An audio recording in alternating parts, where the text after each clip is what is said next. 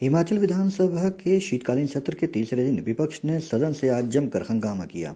नियम सतासठ के तहत सदन में करुणामूलक आश्रितों भर्तियों को लेकर स्थगन प्रस्ताव लाया गया और चर्चा की मांग की गई, जिसे विधानसभा अध्यक्ष ने अनुमति नहीं दी। जिसके बाद विपक्ष में सदन में हंगामा शुरू कर दिया और सदन के बीच में नारेबाजी भी की। करीब आधा घंटे तक विपक्ष सदन में ही नारेबाजी करता रहा, जिसके बाद वर्कआउट कर सदन से बाहर आ गए।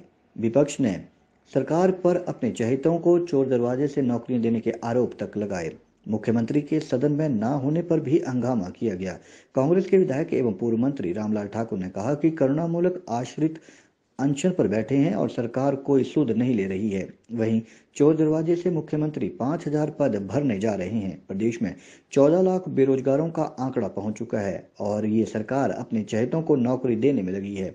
वहीं पुलिस जवानों की भावनाओं के साथ साथ अभी तक पुलिस खिलवाड़ कर रही है। उन्होंने कहा कि इस सरकार में न्याय के बारे में सोचा भी नहीं जा सकता है। मुख्यमंत्री अपनी कुर्सी बचाने के लिए देवी देवताओं को मनाने के लिए दिल्ली के चक्कर काट रहे हैं।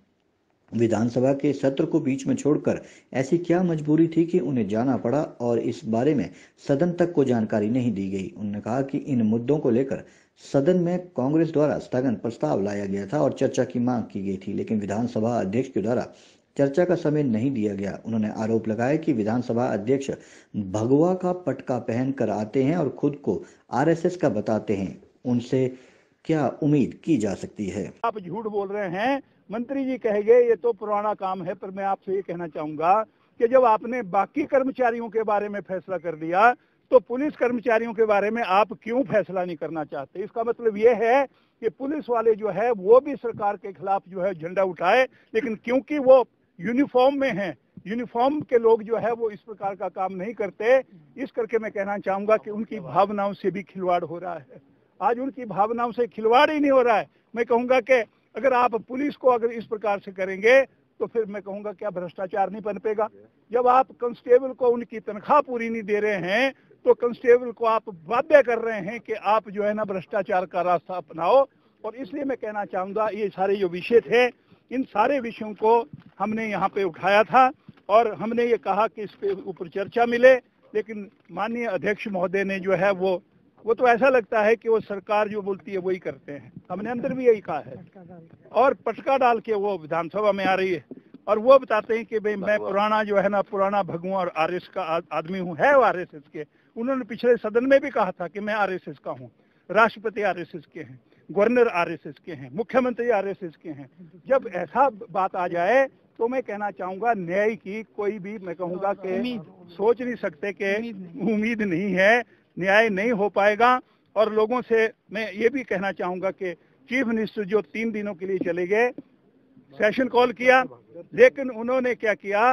उनको उनको मैंने आशा जी ने और हमारे बहुत सारे साथी हैं, उन्होंने नियम सतासठ के तहत जो है, वो हमने स्थगन प्रस्ताव दिया था। और मैं ये कहना चाहूँगा कि ये जो विषय स्थगन प्रस्ताव का था, वो हमारा ये था कि हिमाचल प्रदेश में जो चोर दरवाजे से नौकरियाँ दी जा रही हैं और मेरिट लिस्ट को जो है वो इग्नोर किया जा रहा है और साथ में जो रोस्टर है बना हुआ, उसकी अवहेलना हो रही है, उसकी अनदेखी हो रही है। हमने ये सारी बातों को लेके और आज की तारीख में मैं ये भी कहना चाहूँगा कि जो सरकार ने आउटसोर्स के ऊपर कर्मचारी रखे हैं, ये आउटसोर्स के ऊपर जो कर्मचारी रखे हैं ये मैं कहना चाहूँगा कि ये एक कंपनी के हैं। वो कंपनी भारतीय जनता पार्टी से संबंध रखती है चोर दुराजे से शिमला की, कोई क्लीन क्लीन वेस्ट कोई कंपनी का नाम है। और मैं ये कहना चाहूँगा कि इसके माध्यम से जितनी नौकरियाँ दी जा रही हैं आउटसोर्स के ऊपर वो सारी की सारी नौकरियाँ जो उनको पैसा मिलता है उससे वन थर्ड जो है वो कंपनी रख रही है। और टू थर्ड पैसा जो काम करने वाले हैं, उनको दिया जा रहा है। बड़े पैमाने के ऊपर जो है, वो भ्रष्टाचार हो रहा है। चाहे वो बिजली विभाग के कर्मचारी है, स्वास्थ्य विभाग के कर्मचारी है आईपीएच विभाग के कर्मचारी हैं, वहाँ पे मैं ये कहना चाहूँगा कि बड़े पैमाने पे ये इस प्रकार की चोर बाजारी हो रही है। और साथ में बड़ी बात यह है कि हिमाचल प्रदेश की सरकार ने पिछले सेशन में जो साल में पहले में हमारा बजट सेशन हुआ था, उसमें मुख्यमंत्री जी ने बजट भाषण में कहा था कि जिनकी कर्मचारियों की मौत रिटायरमेंट से एक दिन भी पहले होती है, उनके आश्रितों को नौकरी देने के लिए जो है, वो सरकार जो है, उनको भी नौकरी देगी। लेकिन आज दुख की बात यह है कि हिमाचल प्रदेश में इन चार सालों के अंदर जो कर्मचारी हैं, उनकी इनकी मौत हुई है, वो पाँच हज़ार से ज़्यादा लोग हैं, जिन्होंने अप्लाई कर रखा है। और उन्होंने नौकरी के लिए इसलिए अप्लाई किया क्योंकि परिवार में जो है वो अन्न पैदा करने वाला कोई नहीं है, रोज़गार जो है नहीं है और खाने के लिए लोगों को मिल नहीं रहा है। इसलिए उन्होंने आज आज की तारीख में भी मैं कहना चाहूँगा, पाँच हज़ार ऐसे लोग हैं जो पात्र व्यक्ति हैं नौजवान, जो रोज़गार लेना चाह रहे हैं, क्योंकि सरकार ने कहा था। लेकिन सरकार आज कह रही है कि कार्यक्रम ऐसे नहीं चलेगा। नीति ये है कि पूरी सारी जितनी भी पोस्टें हैं, जो वैकेंसी है, उसका एक परसेंट जो है, वो इनको मिलेगा, जो करुणामूल आधार। कह दिया कि एक दिन पहले भी जिसकी मौत होगी, वो भी इसमें कब्र कब्र हो जाएगा। और पिछले हमने विधानसभा सत्र में पूछा था तो ये जवाब नहीं दे पाए कि इसमें करुणा मूल आधार के ऊपर कितने लोगों को नौकरियाँ मिली, उसका जवाब भी नहीं मिल पाया। हमने कहा था कि आपने आउटसोर्स के ऊपर दैनिक के ऊपर जो है वो कितने कर्मचारी लगाए हैं तो ये कहा गया कि ये सूचना हमारे पास नहीं है। और आज मैं कहूँगा कि सरकार ने ये फैसला किया है क्योंकि चुनावी वर्ष आ गया, इसलिए पचास हज़ार कर्मचारी जो है वो अब चोर दरवाजे से लगेंगे, आउटसोर्स के ऊपर लगेंगे। और साथ में क्या है कि उसकी जो है, ये नहीं देखा जाएगा किसको देनी है, ना कोई उसमें रिजर्वेशन का पॉइंट रखा हुआ है। और जो भी आ रहे हैं, जो भी मुख्यमंत्री जी के पास आएँगे, जो मंत्रियों के पास आएँगे, उनको ये पचास हज़ार कर्मचारी तो चोर दरवाजे से रखने का फैसला है। मैं ये कहना चाहता हूँ, उसे नौजवानों के हितों की रक्षा नहीं होगी। नौजवान जो है, वो सड़कों के ऊपर है। आज हिमाचल प्रदेश यहाँ तक पहुँच गया है कि पूरे मुल्क की अगर आप परसेंटेज देखो तो उससे दुगनी चौदह परसेंट अनएम्प्लॉयमेंट जो है, वो हिमाचल प्रदेश में ये आंकड़ा बढ़ा है।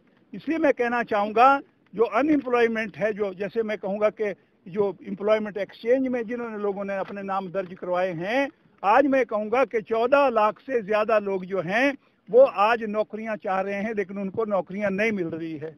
कुछ कोरोना की मार पड़ी, कुछ इस सरकार की मार पड़ रही है। मुख्यमंत्री जी यहाँ से चले गए। क्या ज़रूरी है? मैं कहना चाहूँगा, मुख्यमंत्री तीन दिन के लिए यहाँ पे नहीं होंगे। कहाँ पे गए हैं वो जाने।